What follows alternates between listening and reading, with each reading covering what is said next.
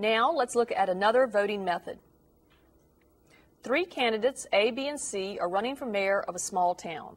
The results of the election are shown in the following preference table. This time we want to determine the winner using the plurality with elimination method. Now this requires us to know what a majority would be. So we're going to begin by adding up the total number of votes in order to determine that.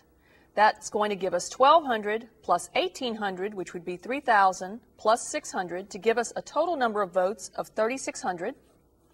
We'll divide that by 2 to come up with 1,800. In order to have a majority, we're going to have to have more than 1,800 votes for any particular candidate. So that's what we'll be looking for. Now, let's start off by figuring out the number of first place votes.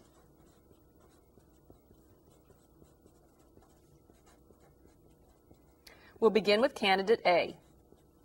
Candidate A will have first place votes only from this first column, and that would be 1,200 votes. Candidate B has first place vote, votes in the third and the fourth column. So we're going to add together the 900 and the 600 votes to give candidate B 1,500 votes. Candidate C has a first choice set up in the second column where we're going to have 900 votes.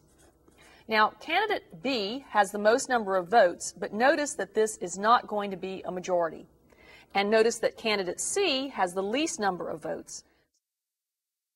Now let's rewrite the table without C. We're going to look at the same columns. We're going to list, however, only first and second place as we won't have C in the result. So we're going to still have the 1200, 900, 900, and 600.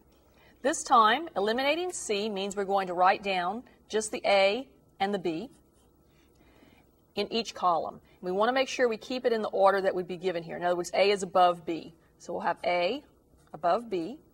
In the next column, notice that B is ranked above A. And in our last column, B is ranked above A. So now let's tally up the number of first place votes.